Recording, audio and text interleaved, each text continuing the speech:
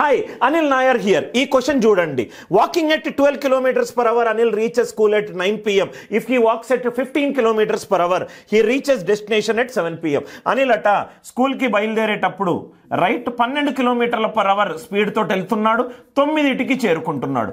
అదే పదిహేను కిలోమీటర్ల పర్ అవర్ స్పీడ్తో వెళ్తే ఏడిటికి చేరుకుంటాడు? రైట్ స్కూల్కి ఇంటికి మధ్యలో దూరం ఎంత? ఏమీ చేయకూడదు. ఈ రెండు స్పీడ్స్ మధ్యలో ఎల్సీఎం కనుక్కోండి. ఎల్సీఎం ఆఫ్ పన్నెండు కామా పదిహేను. ఎంత? అరవై. ఎల్సిఎం బదులు ఆ రెండింటిని మల్టిప్లై చేసినా ఆన్సర్ వస్తుంది. అరవై కిలోమీటర్స్ అని మనం అనుకుంటే పన్నెండు కిలోమీటర్ల పర్ అవర్. అరవై కిలోమీటర్లు అంటే ఎన్ని గంటలు పడుతుంది? ఆఫీస్కి వెళ్ళడానికి ఐదు గంటలు. అరవై కిలోమీటర్లు పదిహేను కిలోమీటర్ పర్ అవర్. ఎంత సమ టైం పడుతుంది? నాలుగు గంటలు. ఐదు గంటలు నాలుగు గంటలు. తేడా ఎంత? గంట.